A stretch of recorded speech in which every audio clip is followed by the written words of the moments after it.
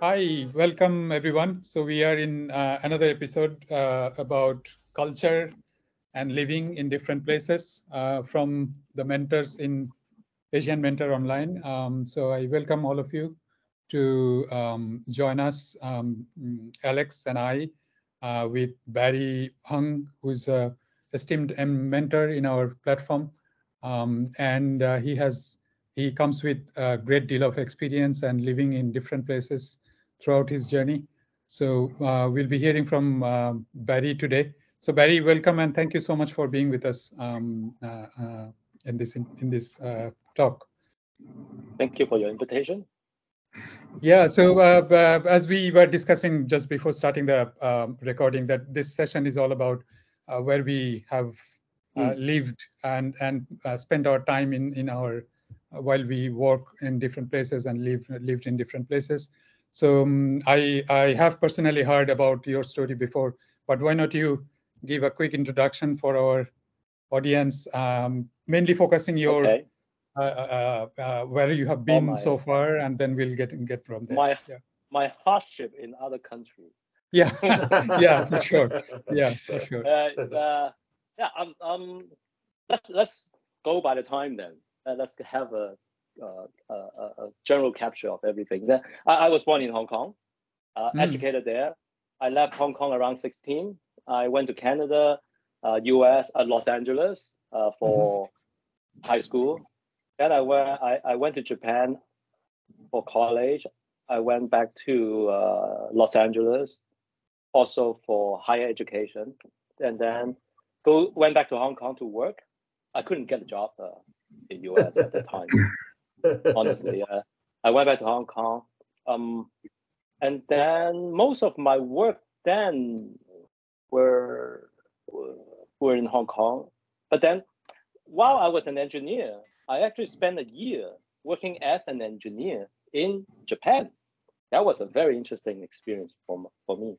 And then, where else did I go? Uh, Japan, and then after that, uh, after I joined Citigroup, I actually travel a lot within China. And also after I joined the high-end retail, I also, um, uh, because my responsibility is over AP, so I, I spend a mm. bit of traveling outside, uh, within Asia, outside China. But at that time, China was still the main key growth engine. So mm-hmm. a lot of effort still in China. Um, so basically that that captures almost and, and within china i travel to i don't know 20 30 40 cities. First tier to sixth tier city everywhere. Uh, so that's why i start off saying the hardship in living in other countries. Right. Hey barry i have a question for you. Now of the places that you uh, lived and uh, well, unfortunately you didn't uh, work in los angeles and uh, I must say you you, you didn't miss much. but, I, I uh, actually work a bit as part time while I was okay, at school okay. in Los Angeles. Okay. Uh, now was, now you you you have a you know good uh, uh, uh, experience living in different cities and learn about the culture. And how do you compare yourself being in different cities, living and work and, and working, and you know dealing with different work culture? How do you summarize uh, the way uh, that uh, American work as opposed to the Chinese and the Hong Kong Chinese and the Japanese? Okay, uh, this is a very good question. Um, uh, let me answer this in, in, in two parts. In terms of working in a different culture, living in a different culture, country, uh, in general, language is the biggest barrier. Hmm. Uh, and then, of course, you know, the work culture, uh, plus all the customs in that country. Um, oh, we'll talk about the work culture a bit more, and then, and then all the, and then all the surrounding things that you need while you are hmm. there. For instance, the food, food. I mean, comfort food I can't get my Hong Kong style milk tea or yeah. instant noodle. uh, I, I, I, had enough instant noodle in Japan, so I don't eat instant noodle anymore.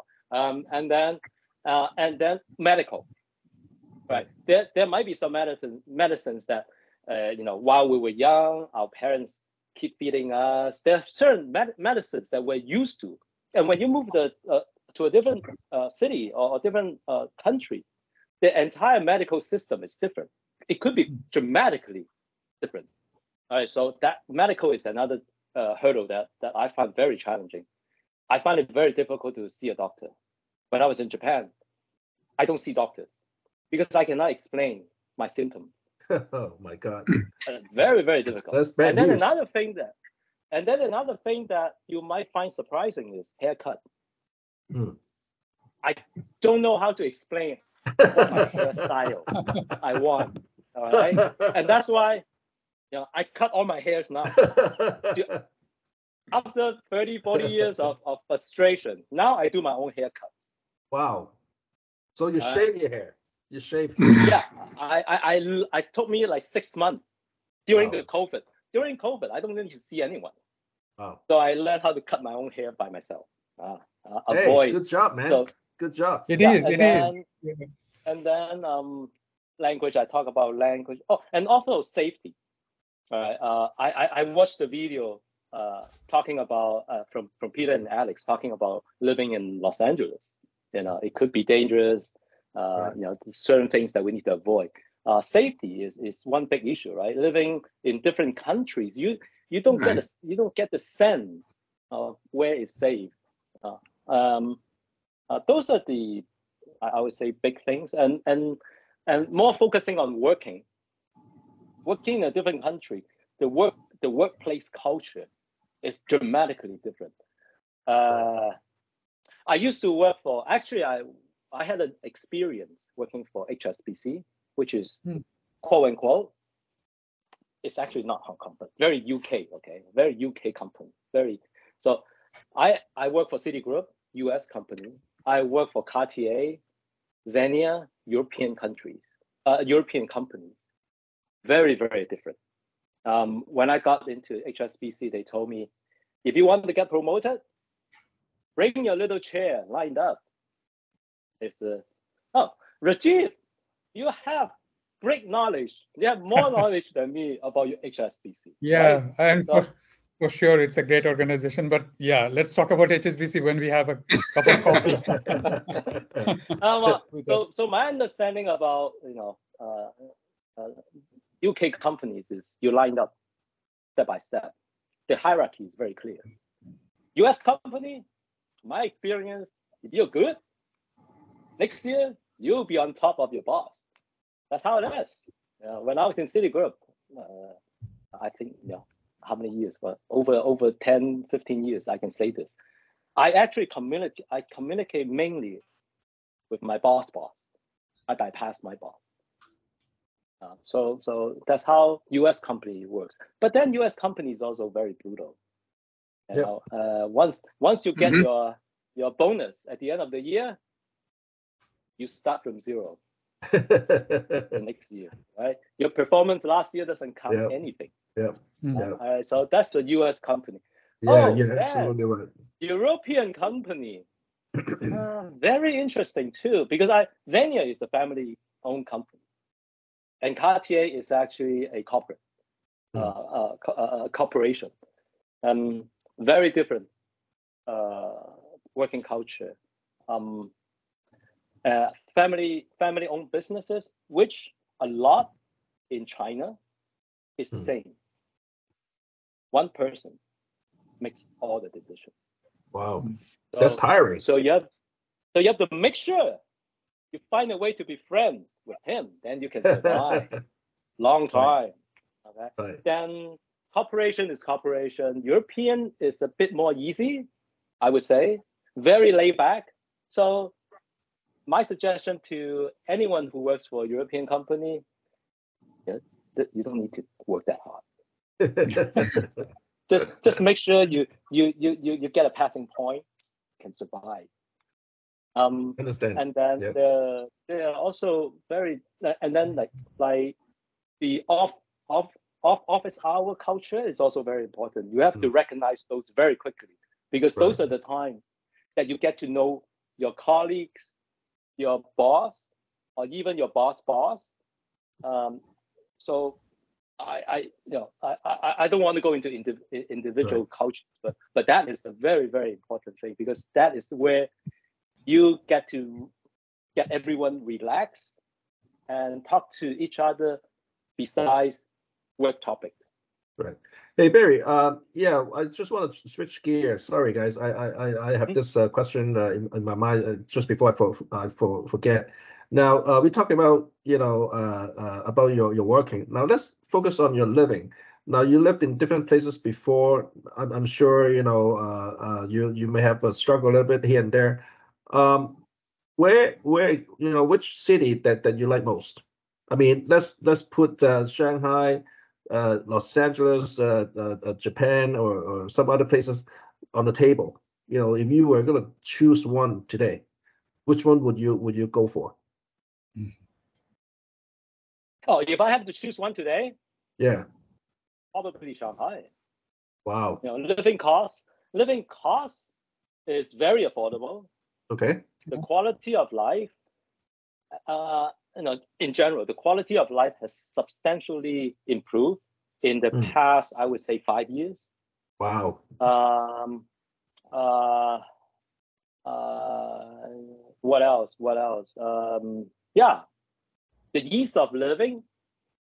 Okay. So, can you can you give us can you give us a couple of examples?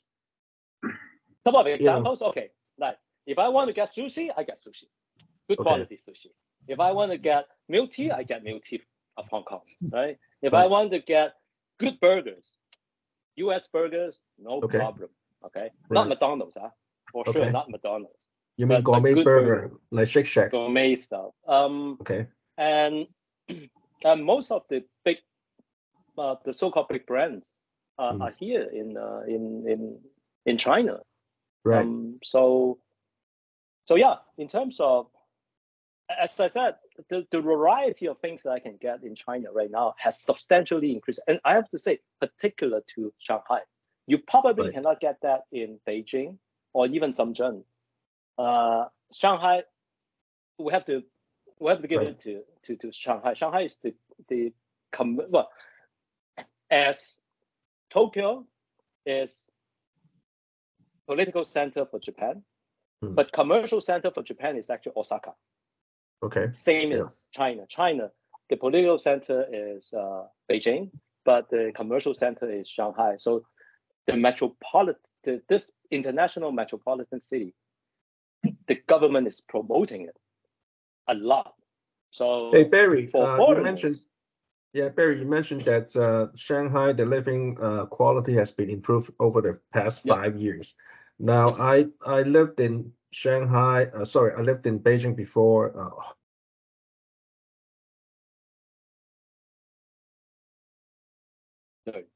I must say, you know, uh, LA is not is not all that bad because you know we enjoy the space, right?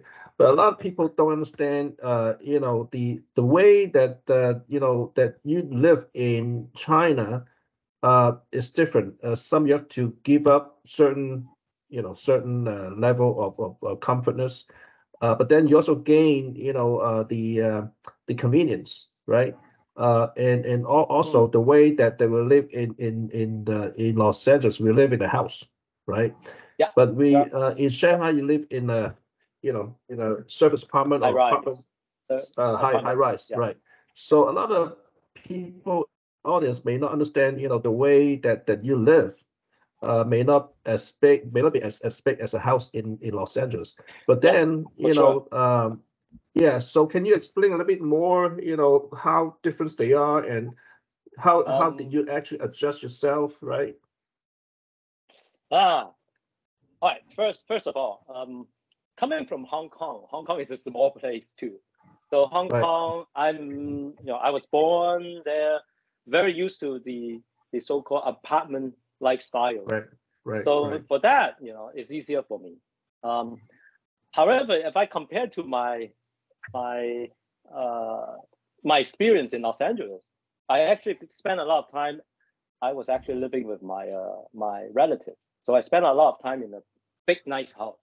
Right. And swimming pool, tennis court, Yeah. Oh, Yeah. nice. But but I don't want to do the work. They make me do the work. Yeah. Right? So so I I don't really like it. Right. I don't really like it. Um, so, so it get. I, I guess, you know, to put it in a nutshell, let me put it this way: ten years ago, my wife, 10, 12 years ago, my wife was all about migrating to US.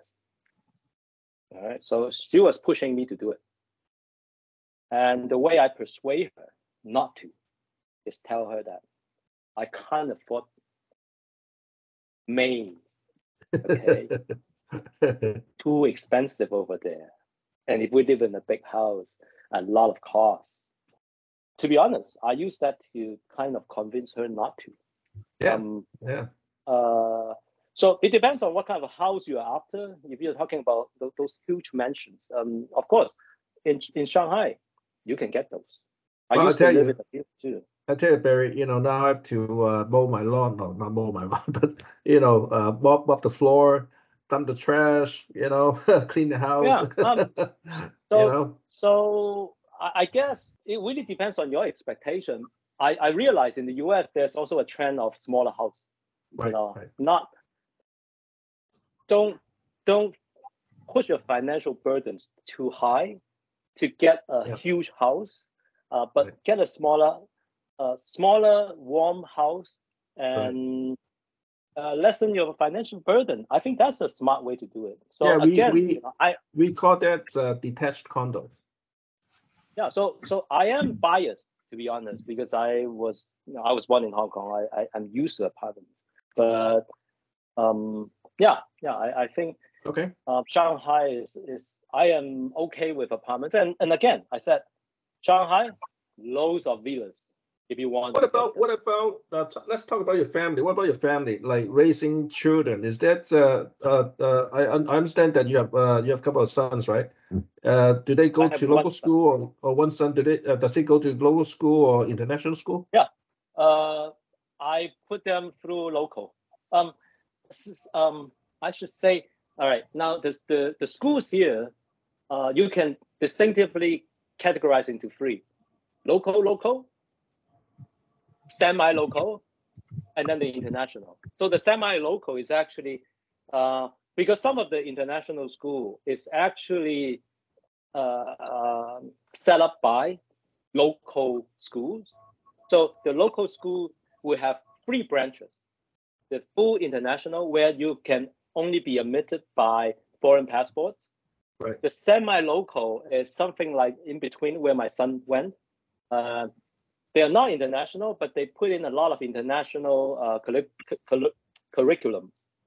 Um, less homework than the local, and then the local local. So I put my son uh, at in the middle uh, because at that time I the aim is to send him overseas for high school anyway. At that time, Okay. Okay. So- in terms of cost, very very expensive for international.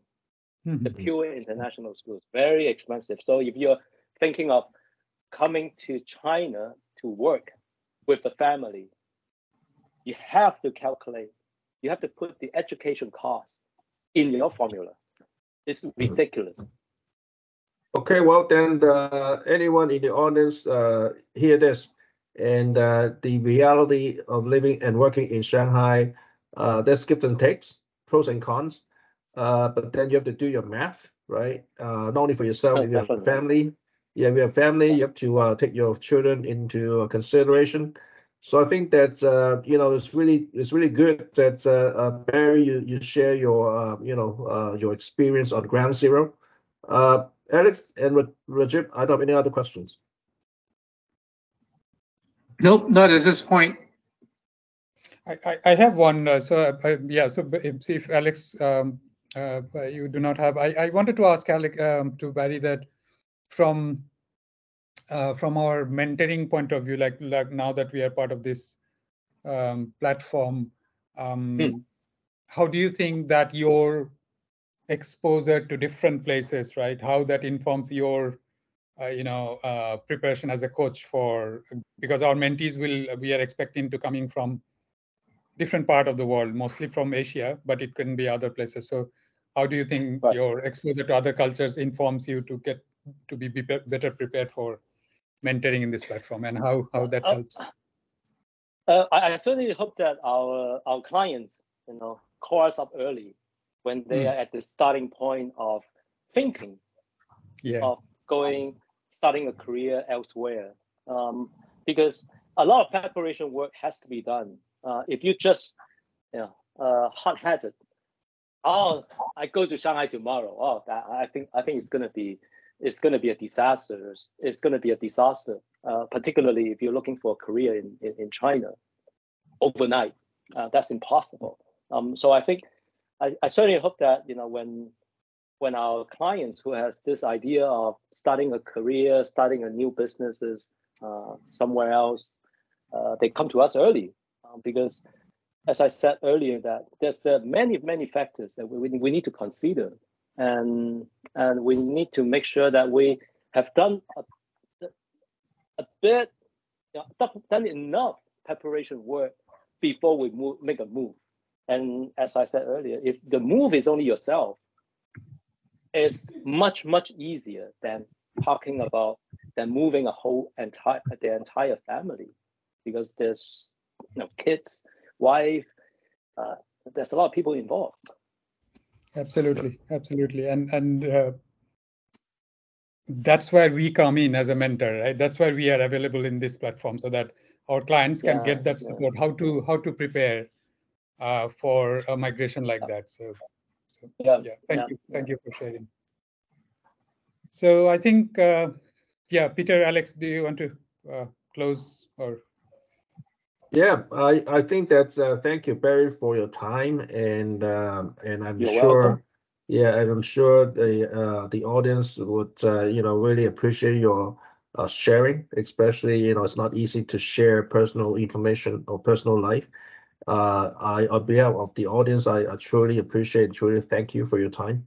And, uh, uh, please, uh, anyone in the audience, uh, you know, love our content, uh, subscribe to our channel, give us a thumbs up, and uh, share our channel and content with your friends and families. And until then, uh, uh, yeah, let's see each other again next time.